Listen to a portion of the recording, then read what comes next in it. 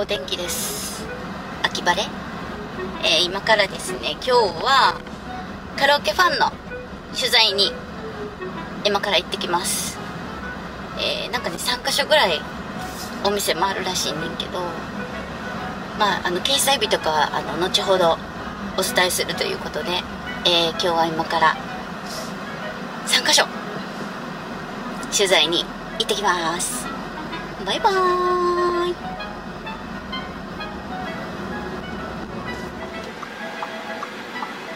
おはよう。ございます。どうした？なんかあった？んはい。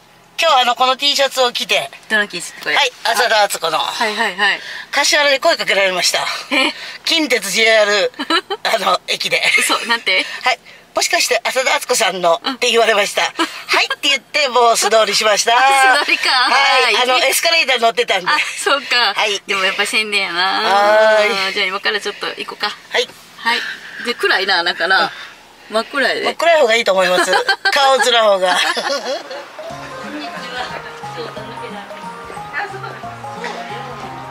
今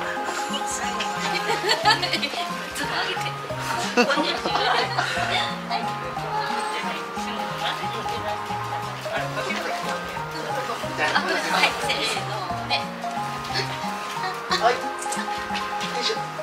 顔だけ顔で、はい、行きます。はい。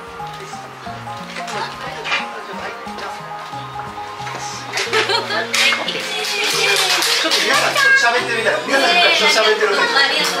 ございます。な感じなんですね。下で見てそれ歌ってますよ。ありがとうございます。あっちゃんも来てねね、新曲出るんで、ぜひまた、うん、うん、よろしくお願いします。12月に、まもなく、はい、12月出ます。よろしくお願いしネネット上には検索出てます。あ、ほんまに。え題名はま海峡もう出るの海峡雪しぐれ。ええ感じやん。めっちゃええか。めっちゃええか。ええ感じやんカップリングは、カップリングはもっとめっちゃええかで、西成の花。これでお話ししてこん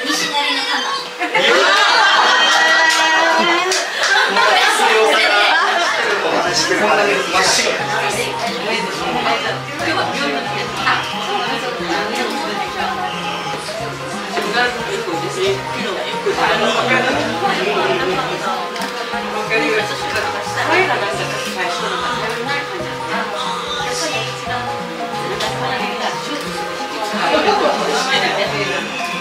ママです。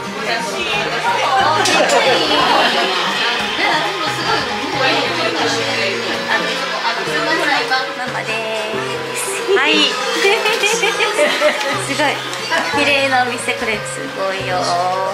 プラスあここで歌ったら気持ちいいよな。キラキラ。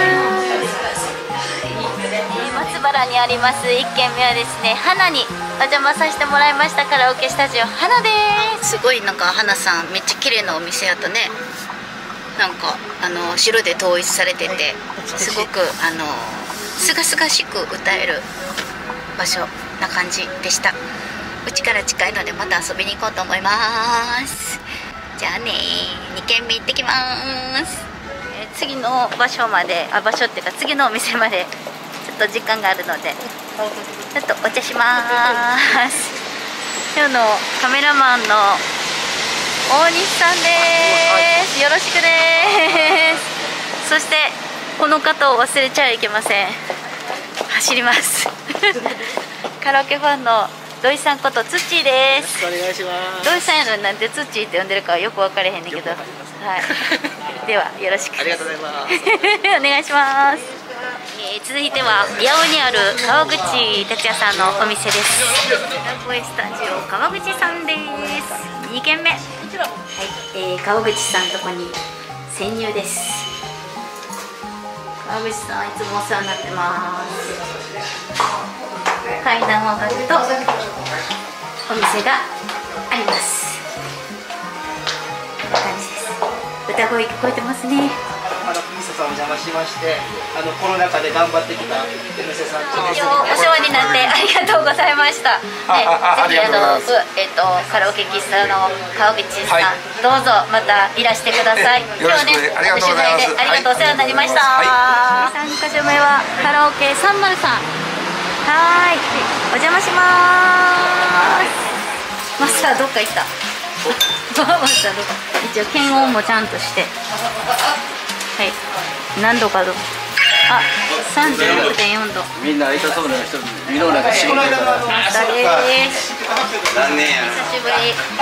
久しぶり。三箇所目三丸さんのマスターです。はいマスターですはい、よろしくです。